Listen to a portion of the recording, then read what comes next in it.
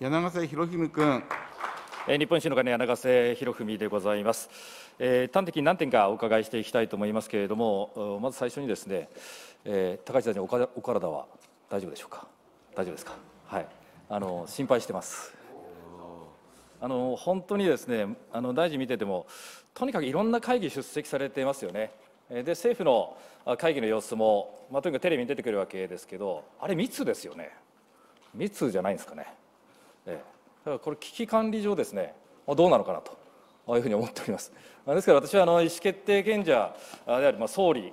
また大臣はですね、もう完全リモートにするべきではないかというふうに思うわけです。で、あの総務省はですね、このリモートワークの推進ということ、これのまあ一番先頭に立ってですね、これをやっているわけでありますけれども。まあ、私はですねやっぱり遅れているのはこれ政府であったり、まあ、この国会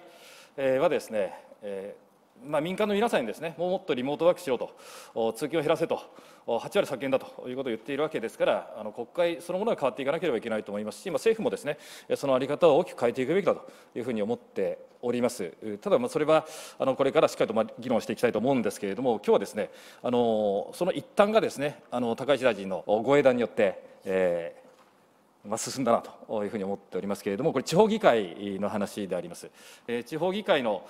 委員会がですね、えーまあ今日付であの発出された通知によって、えーまあ、オンライン会議により今、開催することは差し支えないということがまあ確認をされたということでありますけれども、これはあの、まあ今日の出た通知によって、うんまあ、地方議会における委員会はオンライン会議でも問題ないという認識でいいのかどうか、この点をまずお伺いしたいと思います。高市総務大臣。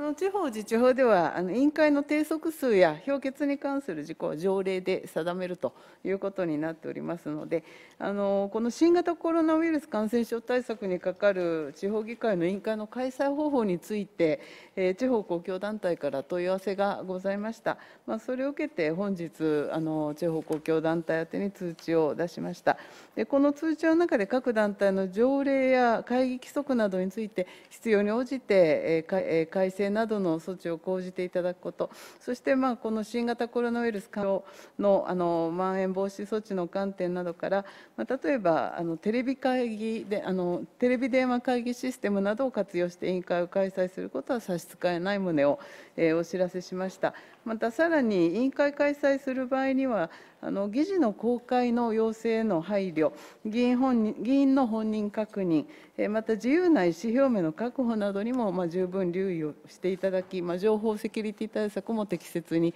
えー講じていただくということをお願いいたしました。ありがとうございます。えまあ、これはあの本当に私、前進だなというふうに思っておりまして、まあ、しっかりとですねこういうふうにあの総務省があの通知を発出するとおいうことが、あのまあ、私は重要なことだというふうに思っておりますけれども、ただこれ、委員会がですね、あのまあ、オンラインでできるということになっても、これ、本会議においては、これはまだ縛りがあるということであります。まあ、現に議場にいることが必要だということで、まあ、今日発出のです発出されたですね、あの通知にもわざわざこの法第113条おおよび116条第1項における本会議の出席については、現に議場にいることが返されているので、え念のため申し添えるということで、わざわざこれ書かれているわけですよね。えですから、これ、この際にですね、あのぜひこの本会議、今113条の改正ということも含めてですね、地方議会がオンライン会議でできるということ、まあ、これリスク管理の側面も含めてですね、えーぜひご検討いただきたいというふうに思いますけれども、大臣の見解を伺いたいと思います。地方議会というのは多様な住民の皆様の、えーこの意見を集約して団体意思を決定するという、まあ、非常に大切な役割を果たしておられます。でこの本会議における審査及び議決というのはまさに団体意思の決定に、えー直接関わる行為でございます。えーこの議員の意思表明というのは疑義が生じる余地のない形で行われる必要がございます。またその議会の会議の内容及び議員の活動というものも住民の皆様に公表すべきものだと考えております。まあ、国会でも、えーやはり憲法の、えー規定もありですね、えー本会議、えーまあ、委員会もそうでございますが、あの定則数があり、まあ、出席を前提としております。あの地方議会の本会議のいわゆるこうオンラインによる出席というものについては、ま私の独断でも決められないえことでございまして、まあ、団体史を決定する大事なま場所であるということから、ま、慎重に考えなければならないと存じます。まあ、あのこれはあの変わるいい機会だなというふうに思います、まあ、イギリスの議会もですね、まあ、伝統ある議会でありますけれども、まあ、オンライン議会のハイブリッド方式ということでありますけれども、新しい一歩を踏み出しました、まあ、こういう変化にですねしっかしっかりと対応できるのかどうなのかというのが、まさに我が国のですね力量が問われているということだと思います。ですから、まあ、今おっしゃったようにですね、地方議会の本会議、まあ、これはあのこの国の本会議もこの出席というのは現に議場にいなければいけないんだという解釈をされているようでありますから、えーまあ、このまあ、国からですねしっかりとこれは変わっていかなければいけないだろうというふうに思いますけれども、まあ、ぜひこれご検討をお願いしたいというふうに思います。えーそれ今日はですねあの財務省お富山副大臣にお越しいただきましてありがとうございます。えー富山副大臣には一問だけえーお伺いしたいというふうに思っております。これ自治体がですねあの休業要請をしたえー事業者に対して、まあ、協力金を給付するということになっています、まあ、東京都の場合、関東の場合、関西防止協力金という形で、まあ、50万円、100万円を給付するということになっているわけであります。えで、これがですね、あの課税対象となっているということで、さまざ、まな議論がなされてきたわけであります。えで、まあ、これ、収益に当たるということでですね、まあ、当然課税されるだろうということが、まあ、一つのロジックなんですけれども、それはそれで分かるんですけどね、えただ、私はこれはあの所得税法の9条1項17号には、え心身またはえ資産に加えられた損害について支給を受ける、まあ、相当の見舞い金という、この見舞い金については、これは非課税なわけであります。ですから私はですね、どちらかというと、この見舞い金に相当するんではないかというふうに考えるわけですけれども、まあ、財務省はこの考え方を取らないというふうに聞いております。えーただですね、えーこれ、税制上の特例措置というのを、今、まあ、とにかくいろんな形でやっているわけですよね。えーそれで、まあ、事業者の資金繰りの支援ということも合わせて、えーまあ、この困難な状況の中でですね、なんとかまあ事業所をしっかりと応援していこうというのを、まあ、政府一丸となってやっているわけです。でその中で、えーこの協力金についてはですね、えーこれまでの慣例通りですね課税をしていくんだということはとてもちょっと納得いかないなというふうに 私は考えてえーおります。でこれはあの地方創生臨時交付金も使えるよということになったわけですけれども、まあ、国がですねあの地方自治体にまあこれ交付金として出して、えー地方自治体はえそれを事業所に配るとおそれがですねまた逆にあの国は課税をしてですね国に還流されるというような流れもうこれも私は不合理だというふうに考えるわけであります。えーまあ、このようなあのあり方というのはですね、まあ、これあのうん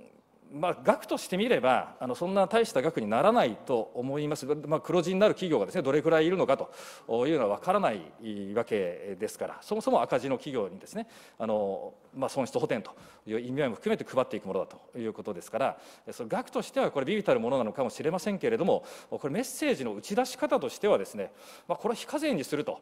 いう方がこれ政府のこれまでの姿勢と一貫したあの形になるんではないかというふうに思うわけであります。改めてこれ非課税にすべきだというふうに考えますけれども、副大臣のお考え聞きたいと思います。遠山財務副大臣。えー柳瀬委員にお答えを申し上げたいと思います。あのもう先生お分かりの上でご質問だと思いますが、この自治体の協力金っていうのは、さまざ、まなものが、えーあるわけでございますので、えーそのさまざまにあるということは、その課税関係っていうのは、えー一一律ではないということです。であの先ほどの委員のご質問の中のご発言にもちょっと重なる部分ありますが、一般論として申し上げますと、この支給の根拠となる法令に非課税規定があるものを別にしますと、2つあるわけですね。で1つは、え事業者、これは個人事業主、法人の営業損害、まあ、すなわち収入の減少や営業費用の増加などにあたるのがこの営業損害でございますが、それや、えー費用者の収入減を保証するもの、補填するものなどは、所得計算上、収入に計上する必要があると。ですから、あの先生が念頭なのは、例えば東京都の協力金などかもしれませんが、この事業について、えーこの保証する